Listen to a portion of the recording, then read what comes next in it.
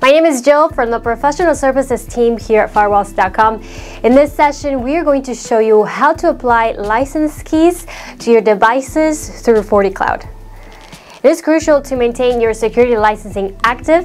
Fortinet licensing will provide protection against advanced threats, zero-day exploits, data loss prevention.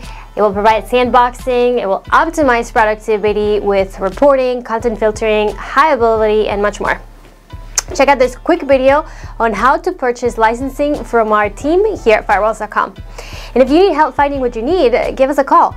By reaching to our knowledgeable sales team or requesting a quote, you can ensure that you are getting the correct license at the best price. If your firewall is managed with firewalls.com, we will take over the licensing and renewals for you. You'll discover seamless firewall management with us. When you entrust your firewall to our care, we handle every aspect, including licensing. Here's how our streamlined process works. One, timely notifications. Our managed partners receive advanced notifications well before their licenses expire, ensuring ample time for action. Expect to be contacted 60, 30, 15 days, and 7 days before expiration.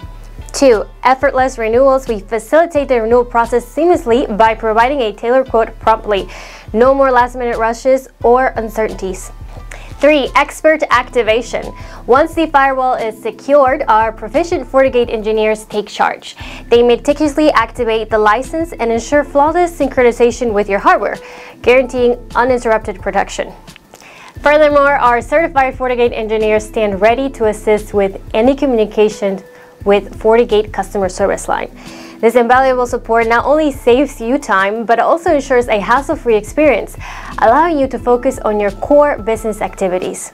So if you want to experience peace of mind and unparalleled convenience with our comprehensive firewall management solutions, partner with us today and redefine your cybersecurity strategy. All right, so let's connect to the FortiCloud and show you how to renew. All right, once you secure a renewal, um, you are going to head over to the FortiCloud. You can get to the FortiCloud by going to support of Fortinet.com. Here we're gonna click on login. Let's authenticate. On the right side, click on products. Then click on my assets. Here you're going to click on the unit that you'd like to apply the service to or the license to click on this one. If the licenses are already expired, you'll see this add license option. Um, but if they're not, then you would click on renew contract. Okay, so then when you get to this part, here you're gonna enter the code. Um, this is the contract registration code from the service entitlement summary.